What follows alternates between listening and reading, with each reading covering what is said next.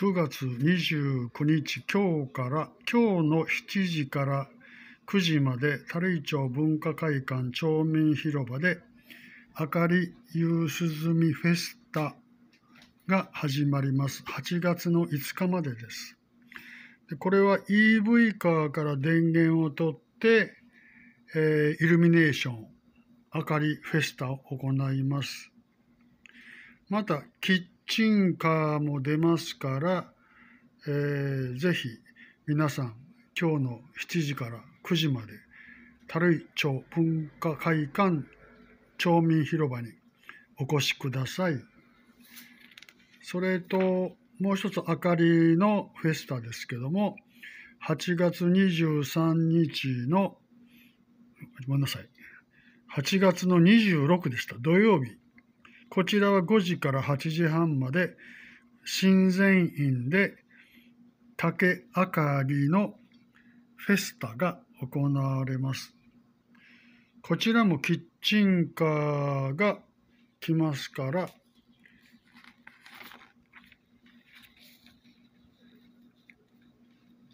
子供さんでも飽きずに、えー、見学できると思います。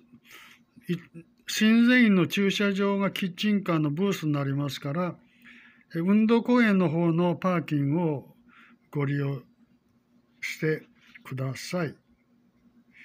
あと、エレクトンの演奏、えー、もあります。あと、こちら、関ヶ原のご案内ですが、関ヶ原で例年行ってました大関ヶ原祭りが10月の14、15と、えー、行われます。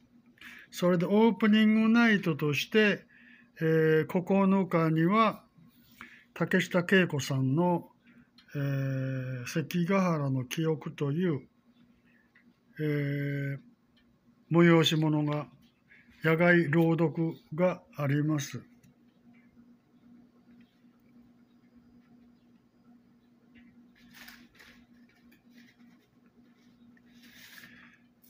こちらは笹尾山で行われるんですが笹尾山の駐車場のところでステージになりますからシャトルバスがいつもの関ヶ原町役場の南側の広場からシャトルバス出ますからそちらに止めてください。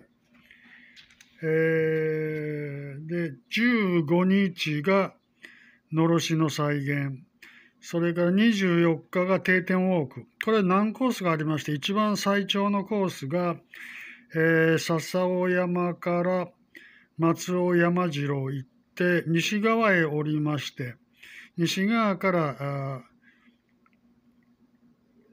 えー、大谷行部義嗣さんの、えー、山中城黒地城ですね黒地城のとこ通って、えー、それから海鮮地へ行って、えー、決戦地笹尾山へ戻るというう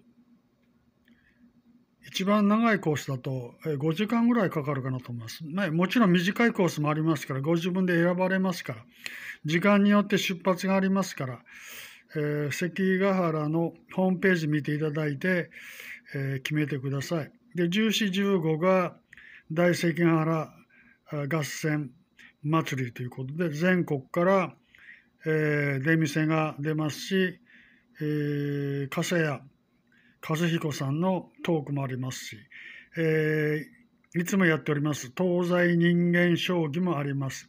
いろんな全国のブース、食べ物もありますから、こちらの方もお越しになったときは、樽井の観光案内所の方へね、お寄りください。以上、よろしくお願いします。今日は7月29日、樽井町文化会館、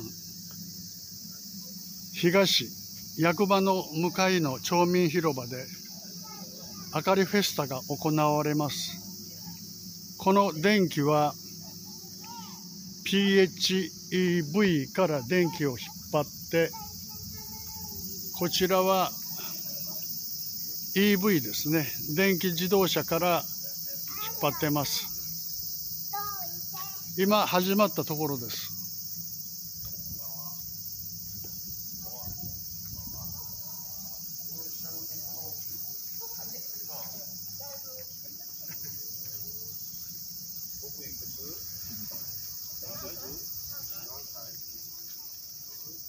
こちらは今町長さんが自らライターでつけられあこれだけあると暑いですね。こちらがフィエルですね。水素自動車で、えー、電気を起こしてます。みんな EV から電気を取られてます。こんな状況ですね。今日はキッチンカーも出ています。じゃあ全体を見ていきたいと思います。あまだ取り付けされてますね。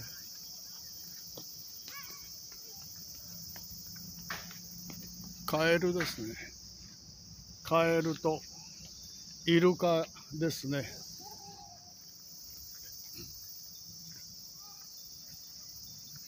もう火は完全に西の山に落ちましたけど、まだ残照が残ってます。こちらはたるいですね。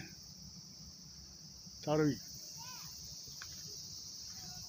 これが役場ですね。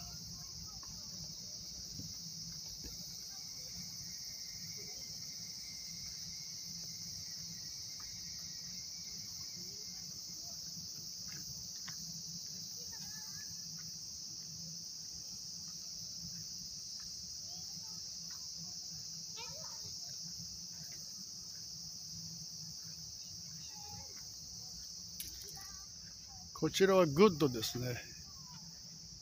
そして、こちらが迷路になります。もう遊んでらっしゃる子供さんがいらっしゃいますね。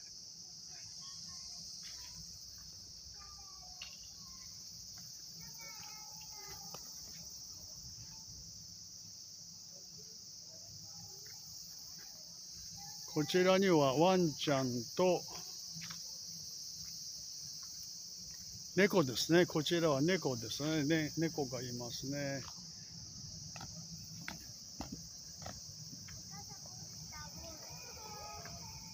迷路はここから入っていって向こうに出るようになります。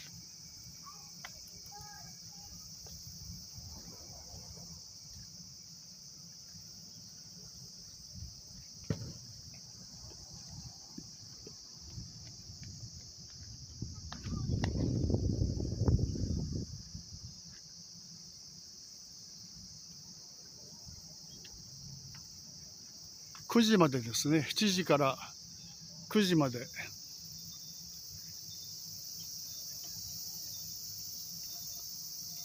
場所も広いですから十分楽しんでいただけると思います。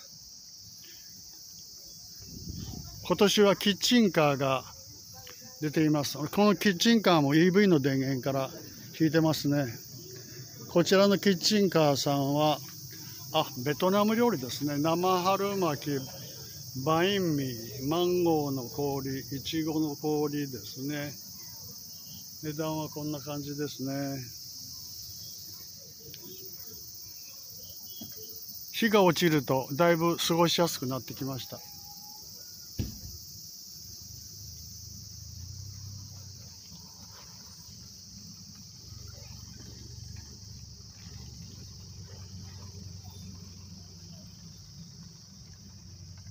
ちらは電気を作ろうという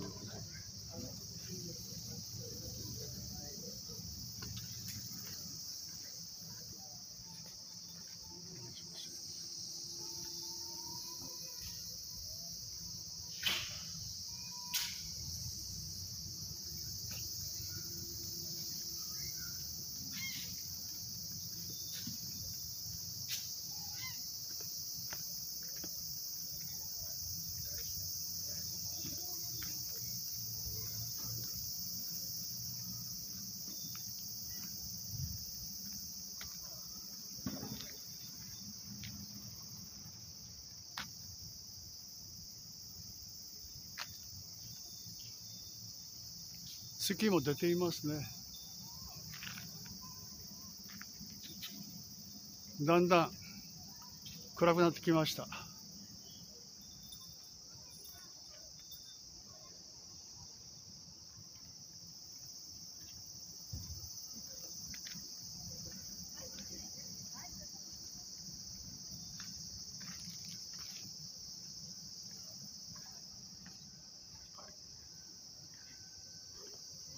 軽井町文化会館横の町民広場から中継しました。